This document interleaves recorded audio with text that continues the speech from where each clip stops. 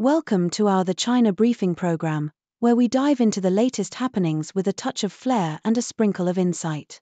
First up, we're looking into Henan province's significant drop in smartphone exports, a whopping 60% decline in Q1 2023, signaling Apple's strategic shift in its manufacturing supply chain away from mainland China. It's a tale of tech, trade, and the quest for diversification that's reshaping the global smartphone market. Next, we're dialing into the US where the Federal Communications Commission has put the brakes on Chinese telecom giants, citing national security concerns. This move bars major players like China Telecom and China Unicom from offering broadband services stateside. It's a digital standoff that underscores the growing tensions and tech rivalry between the US and China. Switching gears, let's talk football, or should we say, goals galore in the Premier League. This season has been nothing short of spectacular, breaking records with an average of 3.26 goals per game. It's a thrilling development for fans and a puzzling challenge for defenders and goalkeepers alike. Stay tuned for more on these stories, and please continue to watch for detailed content. In the ever evolving landscape of global manufacturing and telecommunications, recent developments have underscored significant shifts, particularly involving China's role in these sectors. From the heart of Henan province to the decisions made in the corridors of the U.S. Federal Communications Commission, FCC, these changes highlight the dynamic interplay between economic strategies and national security concerns. The South China Morning Post recently reported a stark downturn in smartphone exports from China's Henan province, a critical hub for iPhone manufacturing.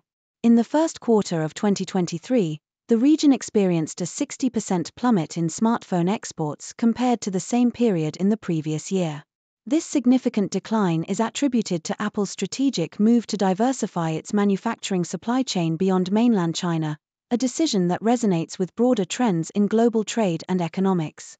Foxconn, Apple's main iPhone assembler based in Henan, is now expanding its operations into other markets such as Vietnam and India, the latter being the second largest smartphone market since the third quarter of 2017. Foxconn's commitment to invest at least $1 billion more in an Indian plant underscores the shifting sands of manufacturing, driven by the quest for diversification and resilience in the supply chain. Meanwhile, on the telecommunications front, Nikkei Asia has shed light on the FCC's recent decision to bar several Chinese telecom carriers from offering broadband services in the United States. The affected companies, including China Telecom, China Unicom, China Mobile, Pacific Networks, and its subsidiary Comnet, have been ordered to cease their fixed or mobile broadband internet operations in the US within 60 days. Citing national security concerns, this move is part of a broader effort by the US to restrict Chinese telecom carriers' operations within its borders, following previous bans on giants such as Huawei Technologies and ZTE. This development is a vivid illustration of the growing tensions and precautions in the realm of telecommunications, where the lines between technology and security increasingly intersect. Amid these shifts in manufacturing and telecommunications, the South China Morning Post has also highlighted the pivotal role of state owned enterprise, SOE, reform in China. As the Chinese economy shows signs of recovery, with manufacturing activity expanding and economic output surpassing expectations, the spotlight turns to the reform of SOEs. Accounting for over one third of China's economic output, the transformation of SOEs into entities that are more market oriented and shareholder friendly is seen as crucial. Such reforms are expected to address vulnerabilities and stabilize the stock market, further bolstering China's economic resilience. With the MSCI China Index outperforming major developed market indices and fund managers growing increasingly optimistic about China's economy, the reform of SOEs emerges as a key element in the broader narrative of China's economic revitalization. These developments across manufacturing, telecommunications, and SOE reform paint a complex picture of the challenges and opportunities facing China and the global economy. From the decline in smartphone exports in Henan province to the FCC's crackdown on Chinese telecom carriers, and the ongoing efforts to reform SOEs, these stories reflect the intricate interplay of economic strategies, national security, and the quest for sustainable growth. As the world grapples with these multifaceted dynamics, the outcomes of these shifts will undoubtedly have far reaching implications for global trade, technology, and economic stability. In the exhilarating world of the Premier League, the 2023 24 season has been nothing short of a goal fest, shattering records and thrilling fans with an abundance of net bulging moments. According to Yahoo US, the Premier League has already smashed the goal scoring record for a 20 team season, with 44 matches still on the calendar. The campaign has witnessed an unprecedented average of 3.26 goals per game, as per statistics from Opta. This surge in goals is attributed to the increased length of matches due to longer stoppage times and a record success rate from the penalty spot.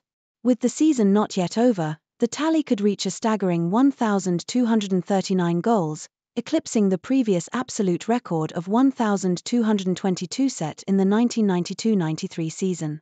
This trend has not only kept fans on the edge of their seats but also redefined expectations for high scoring fixtures in the league.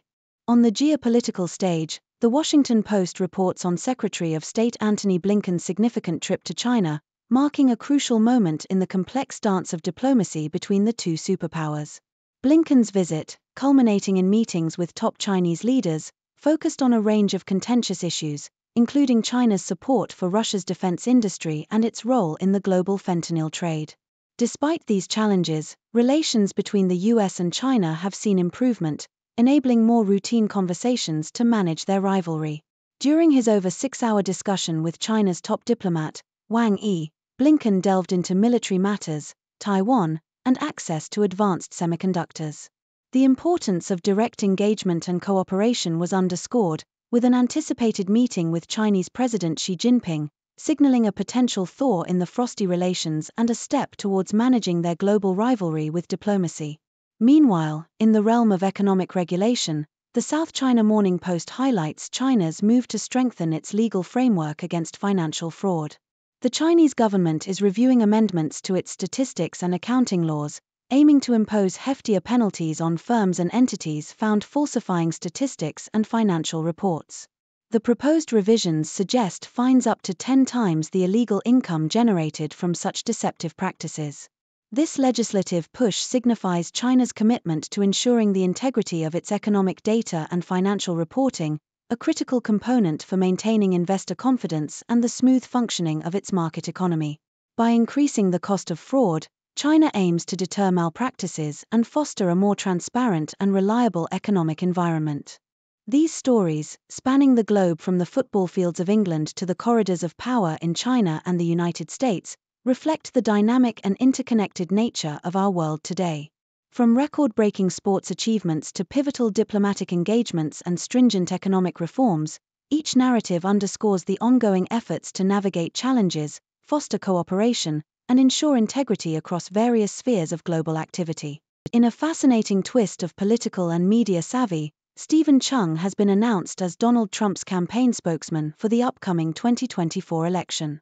As reported by the South China Morning Post, Cheung's career has been as dynamic as it has been diverse, having interned under the muscular wing of Arnold Schwarzenegger, communicated for the high octane world of the UFC, and now, rejoining the political fray with Trump.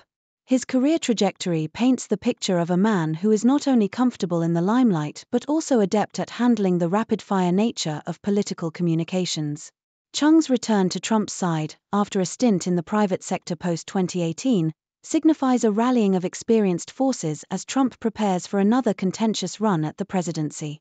Cheung's previous roles, including his work with the office of former California Governor Arnold Schwarzenegger and the 2008 John McCain Sarah Palin presidential campaign, have undoubtedly equipped him with a unique skill set.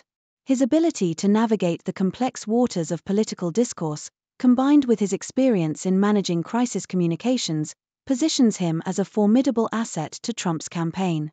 It's not every day that one sees a figure who has transitioned from the world of sumo wrestlers and UFC fighters to the high stakes arena of presidential politics.